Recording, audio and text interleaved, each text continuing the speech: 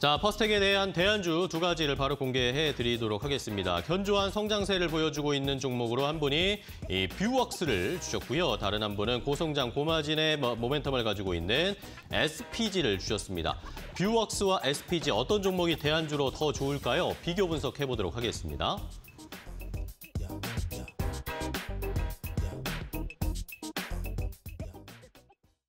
자, 두 분이 주신 대안주 하나씩 체크를 해보겠습니다. 김민수 대표님의 대안주부터 좀 볼까요? 뷰웍스 주셨네요.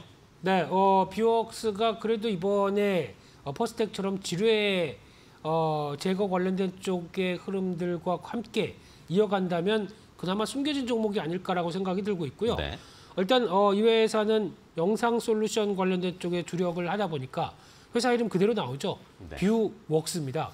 네, 그래서 어, 의료용 엑스레이 detector란 쪽이 한 50%대, 그리고 또 산업용 imaging solution 쪽에 관련된 쪽이 한 나머지 22%대 차지를 하고 있는데 어, 다 아시는 것처럼 치과용 동영상 detector라고 하는 부분들이 어, 가장 많이 쓰이면서 네. 이쪽이 어, reopening 수혜를 받는 측면들이 높고 특히 어. 이쪽만 본다고 하더라도 2019년도 대비해서 작년에 매출이 두 배 나왔습니다. 오. 뭐 매년 어, 큰 폭의 성장을 보인다는 점은 상당히 눈에 띄고요. 어, 그런 어, 매출의 성장세가 일단 실적을 이끌어 간다라고 네. 보는 부분들인데 또 하나 중요하게 봐야 될 게 산업용 엑스레이 관련된 detector라고 보여지는데 쉽게 말씀드리면 비파괴 검사죠. 어, 분해하지 않고도 안에 어떤 어, 어떤 결함이나 어, 뭐 어떤 안의 내용을 확인할 수 있다는 쪽에서 용도가 점점 더 늘어나고 있는데 특히 가스관이나 송유관 관련된 쪽의 검사라든가 이렇게 되면 지금 최근에 이어지고 있는 어, 어떤 시장에도 에너지 관련된 쪽에 투자가 이어졌을 때또 하나는 수혜로 볼 수 있는 부분들이고요. 네. 또 하나 이제 군사 작전 지역 쪽에 폭발 위험물 감지 이쪽이 퍼스텍을 퍼스텍보다 좀 더 압도적으로 예 나올 수 있는 실적을 보여주는 네. 섹터가 아닐까라는 생각이고요.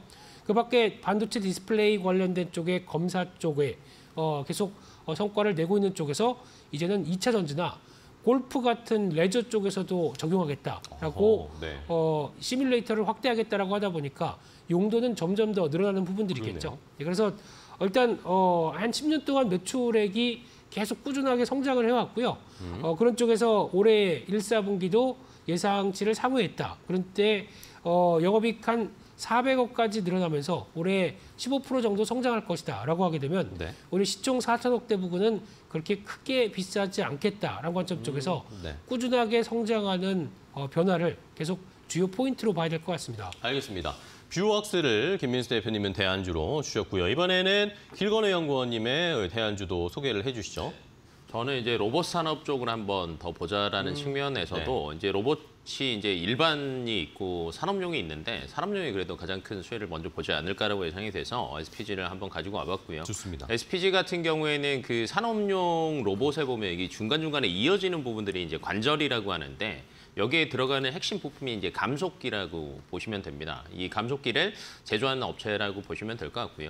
원래 이제 감속기 같은 경우에는 일본에서 독과점을 했었었거든요. 근데 어, 고정미 이 로봇 감속기를 19년도에 SPG가 어, 국내 처음으로 이제 양산에 성공을 하면서 지금 현재는 국내 시장 점유율은 70%로 1위고요. 네. 그다음에 이제 해외 시장에서도 세계 10대 감속기 업체에 들어가요. 그래서 오. 산업용 로봇에는 무조건 이 핵심 부품으로 들어가는 업체다라고 보시면 될 것 같고 어, 크게 활용도가 조금 많다라고 보시면 되는데 뭐 이제 반도체 검사 장비에도 들어가고요. 현대차 이제 도장 라인용에 또 감속기가 또 들어가기도 하고요.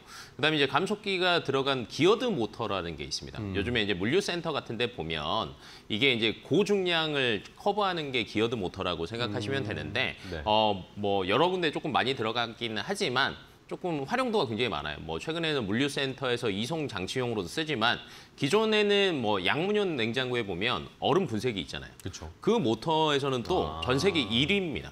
어, 시장 점유율 80% 1위 공급사이기도 하고요. 뭐 들어가는 활용도가 조금 많다라고 보시면 될 것 같아요. 공기청정기에도 들어가고요. 5분경 환기 모터에도 들어가고요. 주요 고객사는 저희가 아는 전자제품 회사들은 웬만하면 다 있습니다.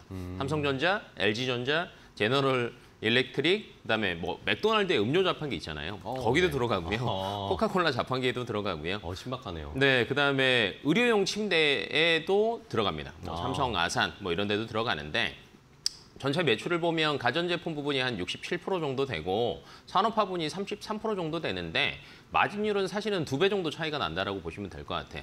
어, 가전제품 부분이 일반적으로 마진율이 한 5% 정도인데 산업용이 한 10% 정도 되는데 올해부터는 산업 자동화용 감속기 부분의 매출이 그래도 꾸준히 늘어날 것으로 예상이 되고 있어서 네. 고마진화 될 것으로 예상이 되고 있고 뭐 클린룸에 들어가는 뭐 팬모터 모듈이라고 있는데 이것도 올해부터 이제 어느 정도 매출이 플러스 될 것으로 예상이 돼서 올해 매출액은 한 전년에 대비하면 10% 정도 오른 한 4,500억 정도 할 것으로 예상이 되고 있고 네. 꾸준하게 로봇 산업에 대한 수혜를 받을 수 있는 업체지 않을까라고 생각하고 있습니다. 좋습니다.